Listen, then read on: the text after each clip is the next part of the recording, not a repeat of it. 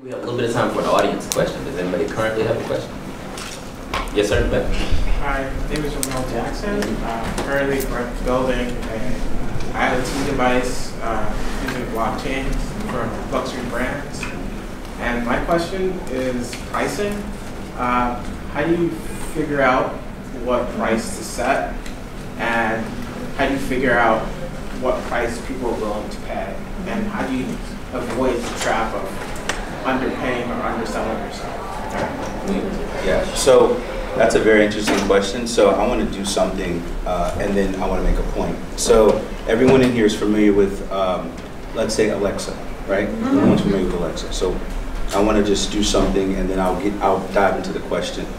Uh, so I'm going on Alexa on my phone. I don't know if you guys have it, but I'm, I'm going to go to Alexa and I'm just going to ask Alexa a question about my brand. Alexa, open Billionaires Row. Welcome to Billionaires Row. You can ask about best champagne, restaurants, and resorts. What are the best champagnes in the world? Billionaires Row champagne is considered the best champagne in the world. Second, Krug Clos du Mesnil Blanc de Blanc Brut. Third, Salon Cuvées Le Mesnil Blanc de Blanc. Thank you, Alexa. So I'll just, and then I'll dive into the whole, so you're in the tech space, which is really genius because technology is driving our, our market. And so to really understand how to price a product, you really have to understand your consumer and the marketplace, right? So uh, one, we know that technology is moving into voice, right? Everything that you see around you is voice. You ask your Alexa, your Siri, your Bixby questions is 3.5 times faster than typing it. So let's say you say, hey, Alexa, order pizza at 6 p.m. for my kids. They'll know Domino's Pizza at your house. You want to order champagne, it may request billionaire champagne, puts it in your checkout. You want Whole Foods, it puts it in, in the basket, puts it in there. All that stuff cuts costs when you're building out from a technology standpoint perspective. When you're going to a physical retail big box perspective, price point goes up. In fact, statistically, it's more expensive to deliver Coca Cola than it is to make it right? So you must under, want to understand your consumer. Um, uh, so to answer your question, uh, depends on uh, scalability, what the cost is to make the actual product, because coding is ex ex expensive, depending on what you're creating. Uh, if it's a luxury good product such as, as my brand, um, my suggested retail price in a retail store is $150 a bottle for the champagne, but it's $800 a bottle in Club LIV in Miami.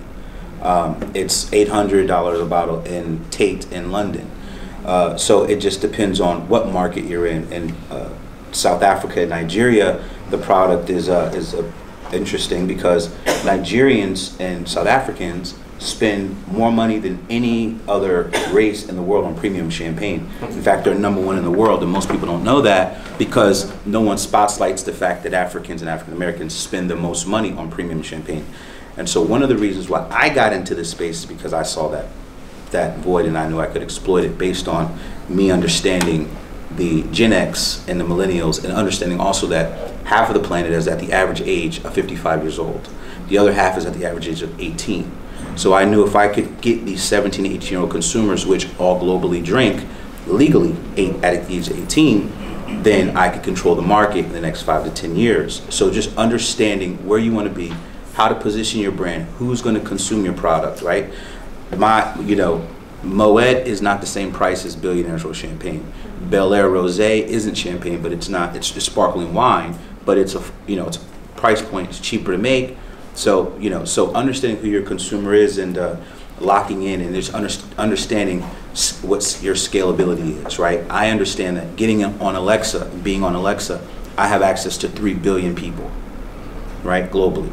But in Manhattan, I only have access to four million people, right? So I know that I'm going to reach a cap in New York, or I'm going to reach a cap at selling to 300 million people in America. But if you want to build wealth, you have to look at scalability from a global perspective, where you can touch billions of users and billions of people. So just look at it from that perspective. And you may have another follow-up question. I, am sorry, I have a follow-up question. So what are you doing in terms of, so we're talking about loneliness, but how, how is it affecting you? Like, what are you doing to, to sort of get rid of that feeling? Again, sometimes you just go in a room and just cry. Because If you want to be disruptive and be a pioneer of industry, and you want to make change and create new uh, bridges for people to cross that are of your likeness or from your walking or background, um, there's no one that's going to believe in you in the beginning. So you have to go in it with duck skin and know that people are going to talk about you behind your back. People are going to look at you funny.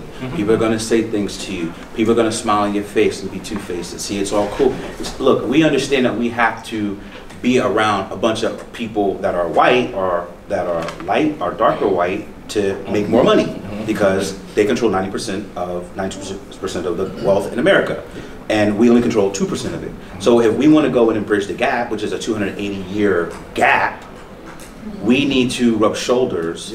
And now it's not who you know, it's who knows you. So mm-hmm. when you're in the room, it's for me, I'm willing to die behind what I've created. And that's how you have to feel. You have to feel like you're Martin Luther King. You have to feel like you're Malcolm X. Mm-hmm. At any moment, you're creating something that you want to, to you want to have to change the world, something that you want to create that's going to live on after you. You have to be willing to, you know, you have to put on that face. But when you go in the room, it's okay to break down with your friends and your family, the people that love you. And it may only be one or two people, but that's all you need. Mary, can we like clap for the collective?